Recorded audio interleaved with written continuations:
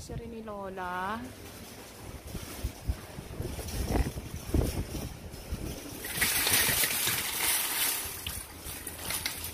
Ayan.